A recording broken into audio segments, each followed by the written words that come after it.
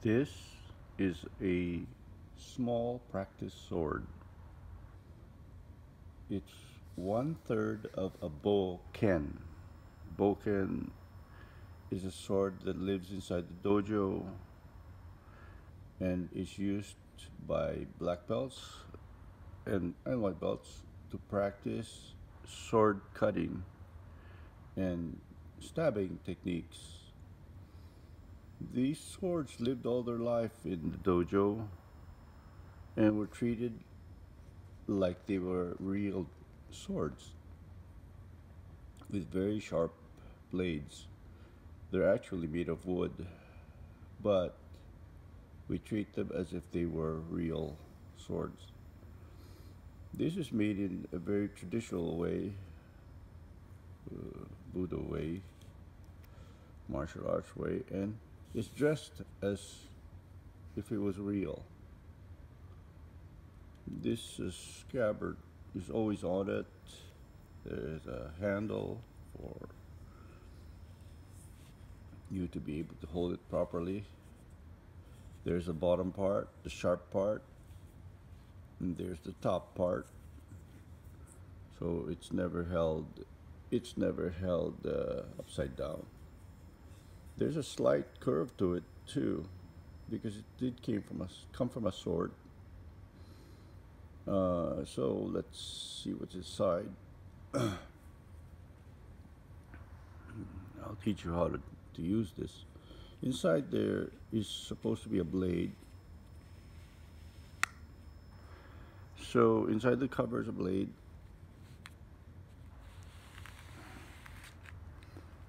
In this case it's wood with supposedly a sharp side, a sharp edge here and a back here, the back of the sword. So this is uh, what it looks like and you hold it this way with two little fingers and relaxed three fingers.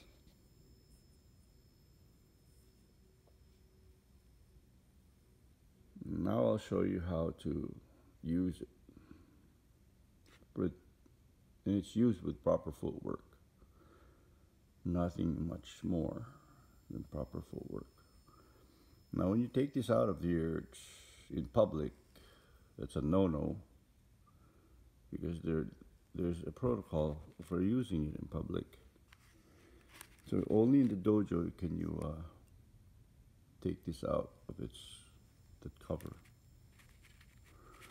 Uh, let's see if I can put it back in. Nope. I need two hands to put it back in. Okay. Now they're very useful as tanto, small hand sword. And the way to hold them is with your two little fingers as you would a sword. This bottom side is very round. It's supposed to be very sharp. So you treat it as a very sharp object. Just as you would any sword. I banded this silver on top just to show you the top portion of the sword. Which can be, uh, you can touch the top portion. But try not to touch the rounded edge which symbolizes a really, really very sharp knife or sword. So this is how you hold it. This is kept to your center, right here, right where your belly is. Never really goes to the sides. It never really swings from side to side. Although if I had to swing it from side to side, I would bring my whole hips to do that action, meaning this sword stayed in the center. Me, so if I'm moving my hips, the sword stays in the center, and I do get a side-to-side -side motion, don't I?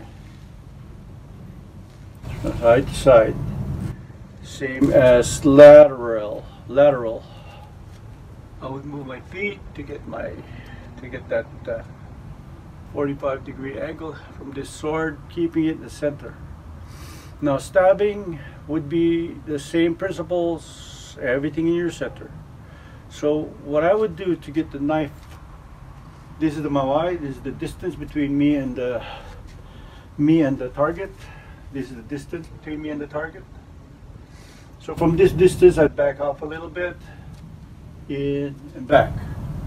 So that's my target. And this is what I want to bring to my target. The way to bring this to your target is to bring your whole body forward, uh, like this.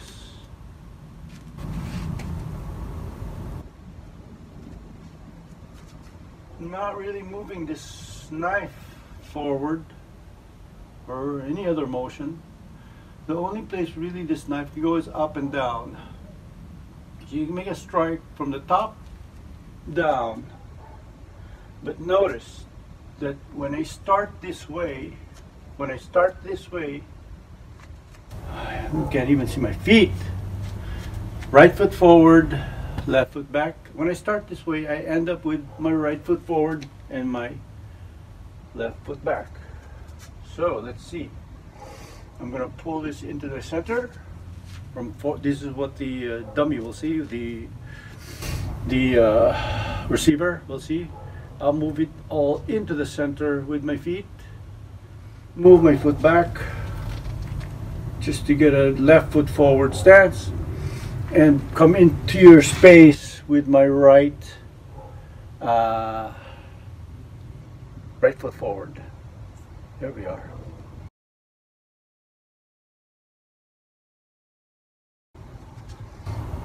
Distance between you and me uh, would be here. Then I would pull everything to the center and move one step back. That's where I could start. Now my left foot is forward, my left hand is forward. That's where I could start my forward attack by bringing everything to the center and follow and bringing my right foot forward, following with my left foot. That's what you would see you were being attacked. One, two, one, two. And I like to say pump, pump. So from here, bump, bump, and uh, fall forward. Falling forward also is a motion that brings me closer to you. Bum, bump, bump. Bump, bump. Bump, bump, bump. The bump up is a funny thing. It just means right foot forward would be falling forward and the back foot will follow. So bump, bump, oops, sorry, there you are. Mm, This never moved. It's always been to the center. Ready? Simple pump, pump. Again, pump, pump. Now to move backwards to give some space between me and the target. Bring everything in. My left foot's forward. My right left foot's forward. My left hand's forward. Then I go in and pump, pump. Back. Falling forward. Pump, pump. Remove. Falling forward and pump, pump. So that finishes a stab. That's what a stab should be. Your whole center going into your your whole center going into your partner. As in. And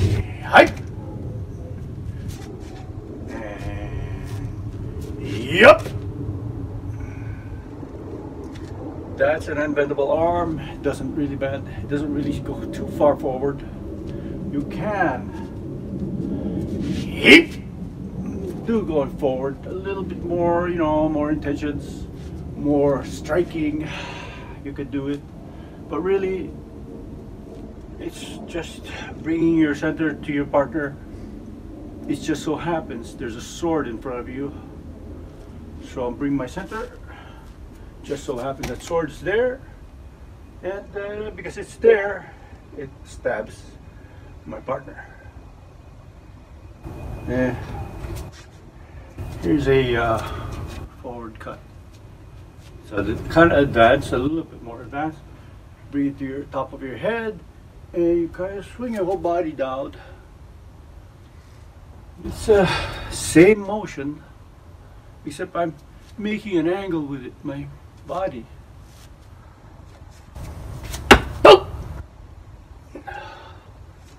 Other side. See? Other side. So that's kind of more fantastic. But really, sword never leaves your center. Keep it there. Walk to your partner. And do it with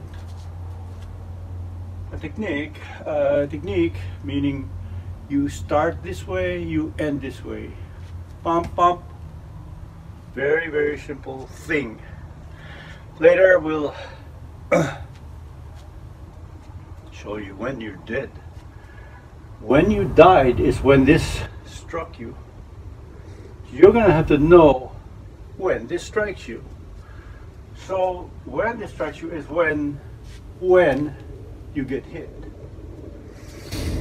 And if you know that exact moment then you could use the when as a tool so that you can actually evade this attack. So when evading, that's when all of that action happens, where you can, uh, when you cannot get killed. So that's first lesson. Uh, there's really nothing to it uh, knife in the center always stays in the center because that's where all your power is. Right in the center of your body. Right here. Uh, never goes up. Elbows down. Everything down. Body straight. Look at my elbows are down. Body straight and pom pom. That's a good attack. Good basic attack. So there you are. Uh, next lesson, evasion uh, from that attack. And then maybe later uh, removal of that weapon from the attacker's hands. All very easy to do. Uh, and really no fantasticness about it. Okay, uh, good lesson. Let's bow.